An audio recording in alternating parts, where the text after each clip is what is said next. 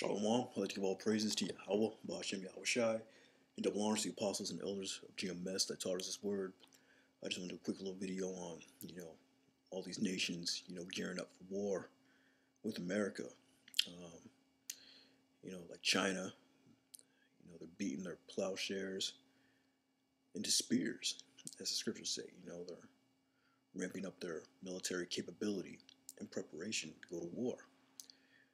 Um, and these are the sign of the times, man. This is what this is the prophecy. You know, wars, rumors of wars. Ultimately, that World War Three. You know, because the Most High's determination, you know, to gather the nations, you know, to execute judgment on them, you know, to drop them missiles, you know. But this article is out of uh, the Washington Examiner, entitled, uh, it was dated January fifth, entitled "China Drills Ballistic Middle Missile Vehicle Designed." To target U.S. bases in future warf- warfare. So everybody knows there's going to be a war, you know, future warfare. So they're all gearing up. Um, Chinese troops conducted a drill involving a ballistic missile vehicle designed to strike U.S. bases in the event of a conflict in the Indo-Pacific, according to analysis of a Chinese state media of, of Chinese state media. This will greatly increase our capability in adapting to future warfare. People's Liberation Army officer Wang Chunhong, who oversaw the drill, told state media. The launch vehicle reportedly carries the DF-17, a medium-range ballistic missile equipped with a hypersonic glide vehicle, according to analysis at the U.S.-based Center for Strategic and International Studies. The new state media bulletins put a spotlight on a new launch vehicle intended to improve the weapon's capability to disguise itself from hostile reconnaissance. A revelation that coincided with new orders from Beijing for the Chinese military to prepare for sudden conflict. The PLA must increase the integration of new equipment new forces and new combat realms into training and combat systems. Chinese General Secretary Xi Jinping said, according to a South China Morning Post translation.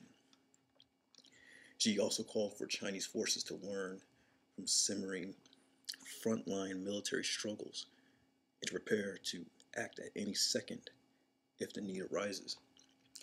All officers and soldiers of the military should strengthen their willpower to fight, improve their skills, and resolutely accomplish the missions and as entrusted by the party and the people in the new era to welcome the CPC uh, centenary with outstanding achievement. The state-run Global Times characterized his written order as saying,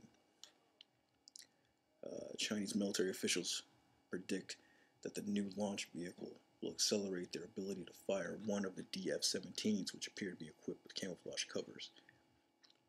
Uh, it should be intact for battle to keep it at the right temperature and to protect the missile from environmental damage. Uh, retired PLA Colonel Yu Gang told the CSCMP it's also camouflage to protect the missile from being detected. So yeah, everybody's you know beating the plowshares and the spears, you know, creating all these weapon systems for what? You know, because they know something's coming down. They know, you know, there's ultimately going to be another war, World War Three. You know, America has all their the troops all over the globe, bases in almost every country. You know, I know he has the Navy over there in the, uh, Pacific Ocean right now. So, yeah, I mean, tensions are rising in the Middle East, tensions are rising in the Pacific, you know. But yeah, that's the Most High's determination. Uh, first scripture is uh, Zephaniah 3 and 8. Therefore wait ye upon me, saith the Lord, until the day that I rise up to the play, to pray. For my determination is to gather the nations, that I may assemble the kingdoms, to pour upon them my indignation, even all my fierce anger. And for all the earth shall be devoured with the fire of my jealousy. Yeah, it's about the missiles, man. You know, missiles. He wants, you know, that's that's the nation of the Lord, man. It's the day of the Lord, man. Uh, a day of darkness and thick clouds and thick smoke, you know. But that's the Most High determination. So this is all part of prophecy, and it has to come to pass. So you know we have to be on the watch, so we're not caught off guard, you know. But then again, you know, it's all about the elect. Um, skipping down to uh, verse 13.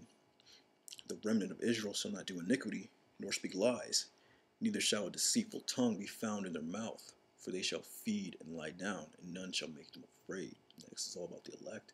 You know, once the Most High seals up the elect, that's when you know all the destruction is going to hit. You know. So Revelation seven and one.